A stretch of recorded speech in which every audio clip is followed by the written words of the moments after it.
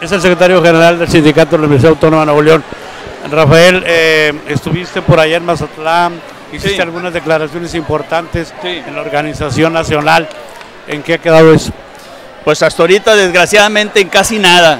O sea, las respuestas que se está haciendo por los diputados federales, por los senadores, no ha quedado en, gran cosa. Los sindicatos seguimos moviéndonos. Hoy Zacatecas empieza con una problemática fuerte. Iremos la próxima semana a Sinaloa a tratar otra vez de presionar para que los presupuestos que se están asignando a las universidades pues sean más sustantivos. eh, eh, en el ámbito de que nosotros dependemos como institución y nuestros trabajadores, todos dependemos de los presupuestos federales y estatales.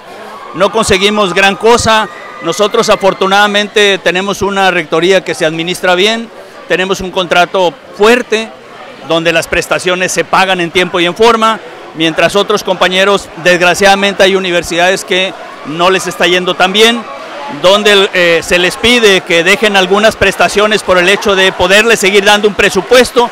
Nosotros hoy en día no estamos en esa condición, pero estamos todos los días trabajando para nunca estar así.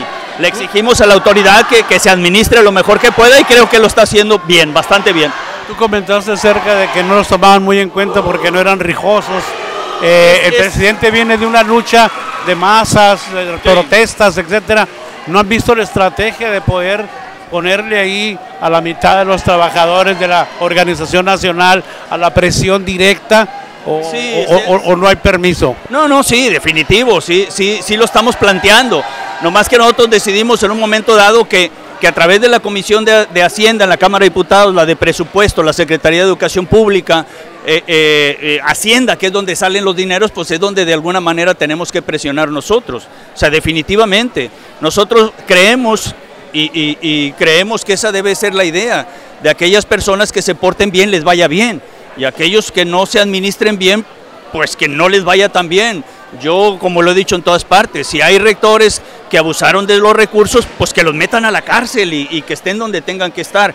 Pero no por eso se puede eh, eh, enjuiciar a toda una institución o toda una universidad pública, a todo un proyecto nacional en el ámbito de decir que las universidades no se administran bien. Hoy en día nosotros no tenemos, gracias a Dios, ningún problema. El fondo de pensiones que hace eh, año y medio, dos años, deberían dar más o menos en 8 mil millones, ahorita andamos en 9 mil 100 millones de pesos. Tenemos un rector que recuperó recursos y que los metió directamente al fondo. O sea, los jubilados hoy en día Afortunadamente se les paga el aguinaldo en tiempo y forma, se les pagan eh, eh, su quincena en tiempo y forma y el servicio médico estamos presionando para que no se pierda.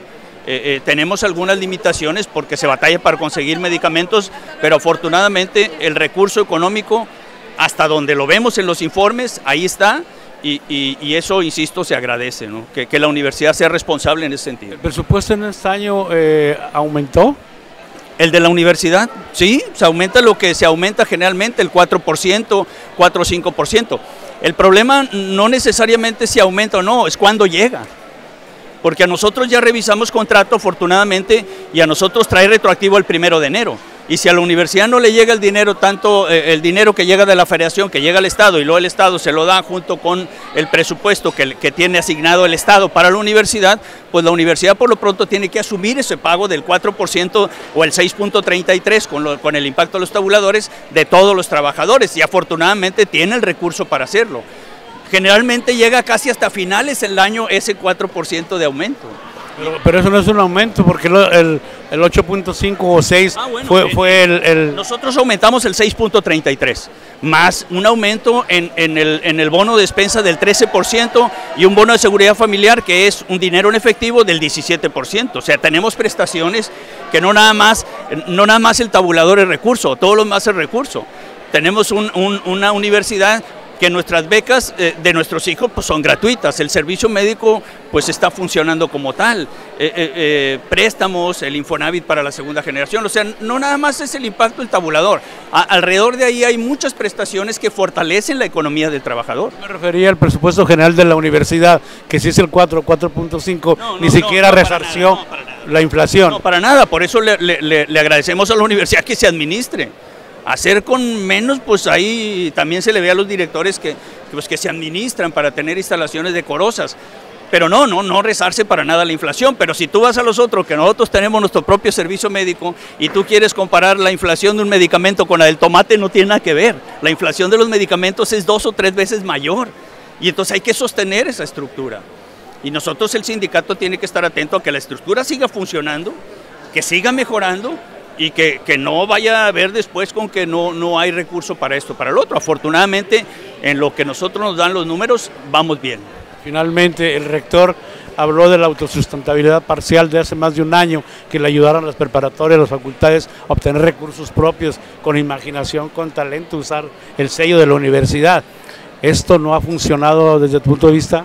No, yo supongo que sí, porque eh, eh, las escuelas siguen funcionando. Nosotros crecimos, hemos seguido creciendo en la cantidad de estudiantes, pero no el presupuesto. O sea, si nosotros, si tuvieras el presupuesto del 2013 hasta el 2023, nos han dado, por decir algo, un 70% aumento en el, en el, presupuesto, pero en el caso de los gastos es más de un 150%, porque hemos aumentado casi en un, en, en, en un 100%, pues no tengo que en un 100%, pero en un 70% hemos aumentado la cantidad de estudiantes. Hoy tenemos arriba de 200 mil y cacho de estudiantes. Y cada uno cuesta. O sea, cuesta una lana. Eh, no lo digo en el sentido peyorativo, pero un estudiante a nivel nacional debe andar costando, nosotros somos de las universidades que relativamente les cuesta menos, andarán en unos 62 mil pesos por año.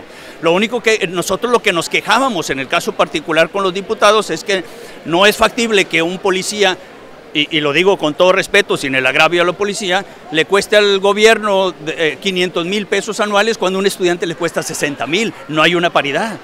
Y eso es lo que hemos venido discutiendo. O sea, ¿dónde vamos a romper esta, esta situación?